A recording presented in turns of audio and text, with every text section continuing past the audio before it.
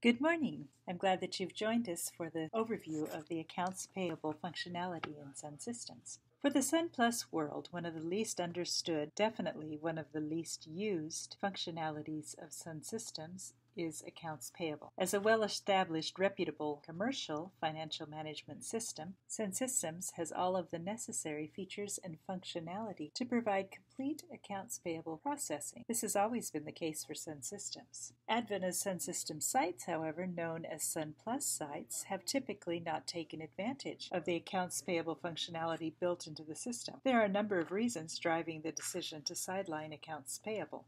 It is not, however, the purpose of our video blog to go into those reasons. Some Adventist sites do use accounts payable, but most don't. In the accounts payable series of video blogs, we will demonstrate each of the various settings, functionalities, and processes involved in using SunPlus for accounts payable. Let's start with a quick list of Sun Systems accounts payable related functions that are available. Static data can be maintained on creditors in the system, including their addresses, contact details, details, bank details, and payment methodology. Chart of accounts is another obvious accounts payable related functionality. Analysis is also very important for accounts payable, and Sun Systems enables analysis on an account as well as a transaction level. Managing disputes is easy using Sun Systems as accounts can be closed or suspended as various disputes are hammered out. Of course, there is the ability to record transactions, including accounts payable transactions, in ledger entry. In addition to ledger entry or ledger import, Sun Systems has an automatic payment functionality entitled Payment Run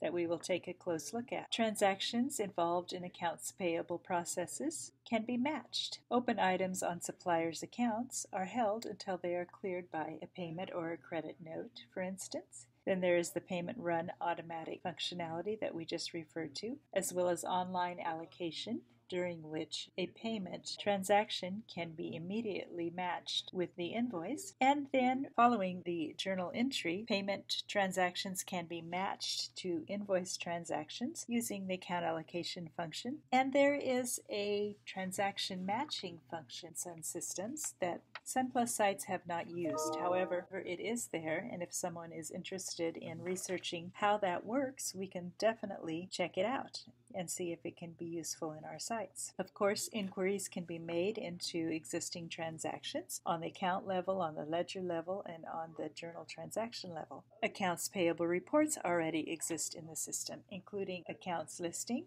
remittances, and payment listings. We have referred to payment runs, which automatically pay the transactions that are flagged for payment. They create necessary transactions, produce payment detail file, check the bank balance on the relevant accounts, enforce settlement terms, and then create the necessary documentation. So the payment run is a powerful functionality.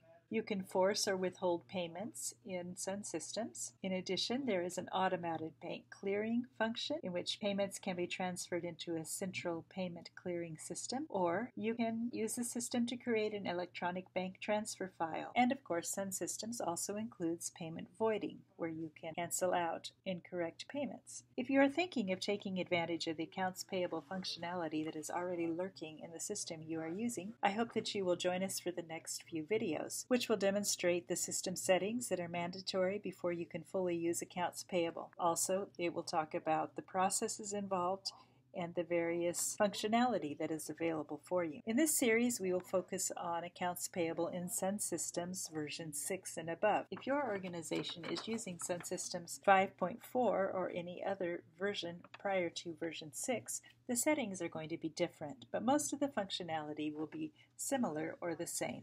So there is benefit in going ahead and checking out these videos even if you are not yet using Sun Systems version 6 or above. So that wraps up the overview video. I hope that you'll join us for the next videos as well.